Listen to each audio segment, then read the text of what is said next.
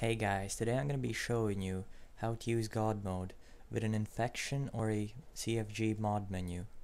So this is what you do. You wait for the game to load up. So if you have a mod menu, you open your menu, go on God mode, then it says left D-pad.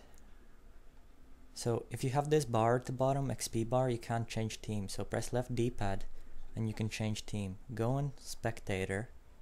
Now press left D-pad again. Then auto assign. And you see the bar again, but press left D-pad. So it's gone. No one else can enter God mode when you press it off.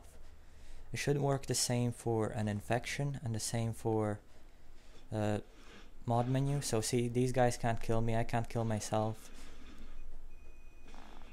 I killed him and that guy so that's pretty much it.